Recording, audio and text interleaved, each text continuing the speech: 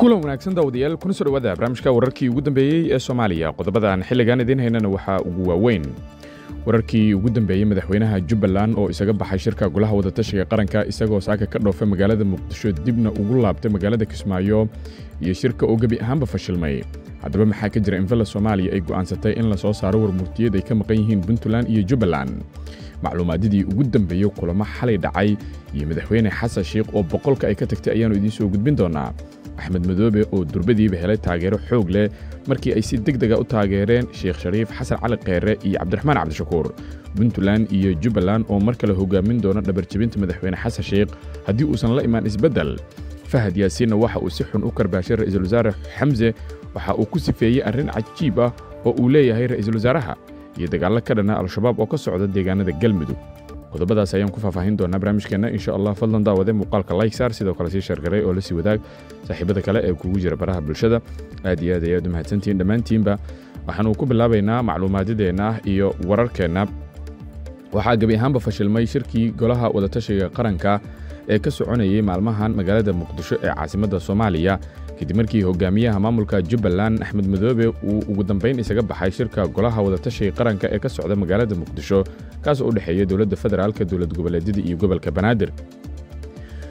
Axmed madoobe ayaa waxaa lagu soo warramay in uu saakay gebi ahaanba isaga dhoofay magaalada muqdisho isaga oo dib ugu laabtay magaalada kismaayo ee xarunta jubbaland iyadoo weli aan la soo saarin warmurtiyeedka shirka golaha wadatashiga qaranka. Wararka intaas ayaa waxa ay ku sii darayaan in axmed madoobe garoonka ay ka sii sagootiyeen xildhibaano ka tirsan baarlamaanka soomaaliya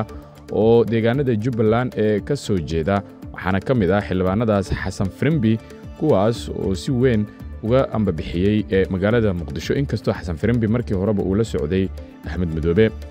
axmed madoobe hogaamiyaha jubbaland ayaa si cad u diiday in dowlad goboleedyada loo sameeyo hal sano oo muddo kororsi ah kadibna la qabto doorashooyin qof iyo coda bisha nofembar ee sannadka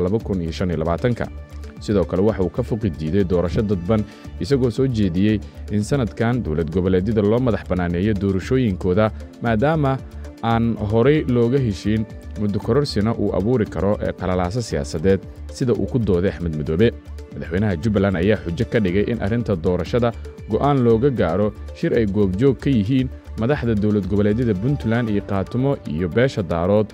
ayna markaasi ee door ugu yeelato si ay door ugu yeelato buu yidhi miisaanka go'aanka looga gaarayo masiirka dalka maadaama doorashooyin toos ah la aadayo.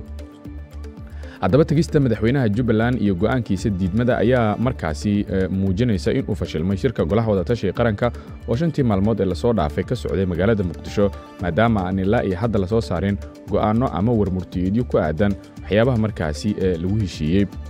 villa soomaaliya ayaa ka fakaraysa in ay soo saarto warmurtiyad ay ka maqan yihiin puntland iyo sidoo kale jubbaland laakiin wararku waxa ay dan sheegayaan in tallaabadaasi ay aad iyo aad ula xumaatay ee villa soomaaliya. Madaxweyne xasan sheekh maxamuud aad ayuu uga carooday wax soconaya iyo sida uu u dhaqmayo axmed madoobe. Dowladda federaalka gaar ahaan madaxda sare oo ay ka soo jeedaan qaarkood jubbaland isku haybna ay yihiin axmed madoobe sida ra'iisul wasaare xamse ayaa arrinta markaasi dhowr jeer loo diray laakiinse wax natiijo ah ma aysan ka keenin waana sababta ugu dambayn keentay in la kala tago. Madaxweyne xasan sheekh maxamuud oo islahaa dhika keliya ee aad isfahmi kartaan axmed madoobe ayuu noqon doonaa ayaa la soo baxay miciyo kale. Puntland iyo jubbaland ayaa mar kale noqon doona kuwa dhabar jebin doona sidii markaa uu fashilmi lahaa madaxweyne xasan sheekh maxamuud amaba qorshihiisa aysan u noqon lahayn kuwo markaasi guulaysta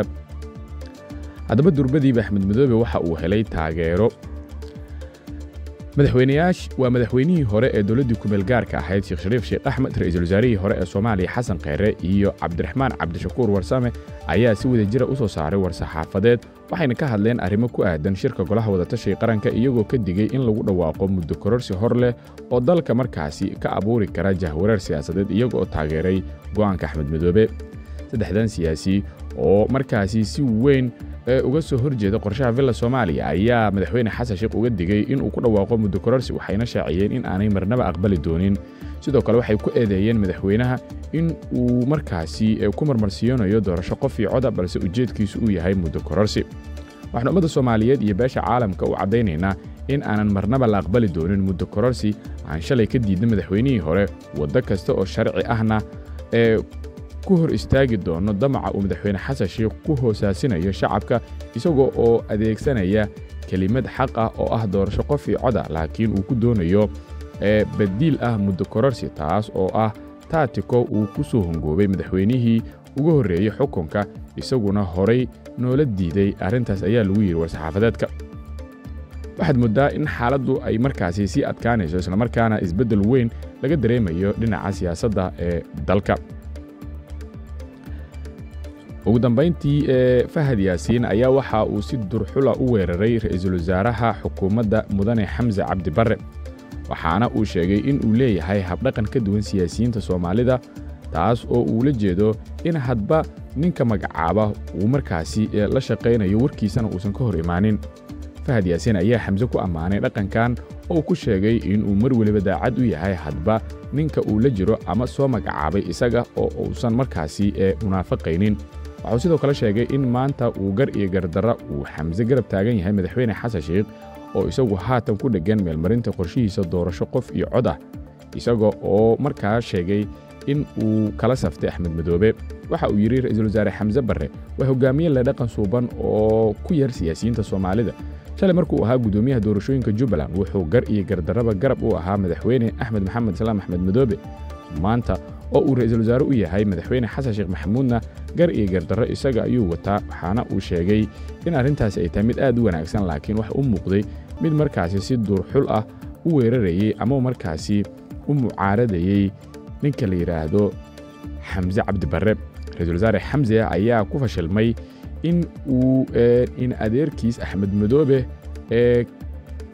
ka qanciyo arrimaha ku saabsan doorashooyinka qofkii codka ah ee madaxweyne xasan sheekh maxamuud uu rabo.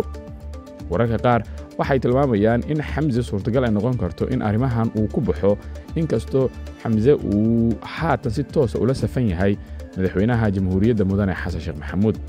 Guud ahaan intaas ayay ku dhan yihiin wararkeennii saaxiibayaal intaanu mar kale kulmi doonno waxaan idinkaga tegaynaa sidaas iyo nabadgelyo. Bishaaro muhiima ma la jeceshahay naftaada carruurtaada qoyskaaga iyo qaraabadaada inay waxbarasho ku qaataan dalka masar? Haddaba haddii ay jawaabtaadu haa tahay deeqsan fiisa ayaa kaa caawin doonta helista dalkugalka masar iyo fududaynta fursadaha waxbarasho ee jaamacadda al ashar iyo macadyada hoos yimaada. Sidoo kale qoysaska raba inay degaan masar si ay uga faa'iidaystaan fursadaha waxbarasho ee ka jira. Deeqsan waxay u diyaarisay fiise jaban oo wakhti kooban ah iyada oo weliba ka caawin doonta ku biirista un-ka waxaa kale oo deeqsan ku haysaa fiisaha dalalka kenya yuganda iyo sacuudi carabiya oo si deg dega lagugu soo saarayo. Sidoo kale xafiisyada diyaaradaha ee doonaya inay nagala shaqeeyaan adeegyadan aan kor ku soo xusnay. Waxaan u haynaa fursado kale oo muhiima haddaba si aad u hesho macluumaad dheeri ah kala xiriir watisab ama wicitaan caadi ah nambarada kale ah balaas labaatan shan labaatan lix toban shan konton toban toddobaatan lix ama balaas labaatan kow iyo toban labaatan sideed soddon iyo saddex soddon labaatan toddobo